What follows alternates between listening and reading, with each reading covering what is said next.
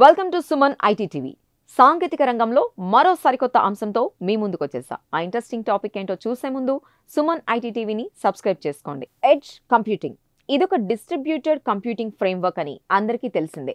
Enterprise అప్లికేషన్లను IoT devices లేదా local edge సర్వర్కు క్లోజర్గా మార్చేందుకు దీన్ని యూజ్ చేస్తారు. అంతేకాదండోయ్ డేటా ప్రైవసీని మరింత కట్టుదిట్టం చేసేందుకు ఇది ఉపయోగపడుతుంది. Triple IT Hyderabad assistant professor Karthik Vaidyanathan చేసిన అధ్యయనంలో ఇది వెల్లడైంది.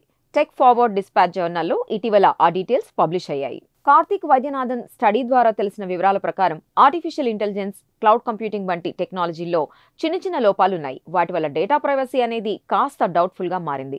ఈ ప్రాబ్లంను ఓవర్కమ్ చేసేందుకు ఎడ్జ్ కంప్యూటింగ్ ఉపయోగపడుతుందని కార్తీక్ వైద్యనాథన్ తెలిపారు. దీన్ని మెషిన్ లెర్నింగ్కి ఇంటిగ్రేట్ చేసి వాడడం వలన మన మొబైల్స్ ల్యాప్టాప్స్లో డేటా హ్యాక్ అయినా ఎలాంటి ఇబ్బంది ఉండదన్నారు. ఒకవేళ మాల్వేర్ దాడి జరిగినా కూడా వాటిలోని ఇన్ఫర్మేషన్ను వేరే డివైజెస్లోకి ట్రాన్స్ఫర్ చేసే వీలు కలుగుతుందని ఆయన చెప్పారు. మరో ప్లస్ పాయింట్ ఏంటంటే ఇతర సాఫ్ట్వేర్లను రూపొందించేందుకు అయ్యే ఖర్చుతో పోలిస్తే ఎడ్జ్ కంప్యూటింగ్కి తక్కువ కాస్ట్ అవుతుండడం విశేషం.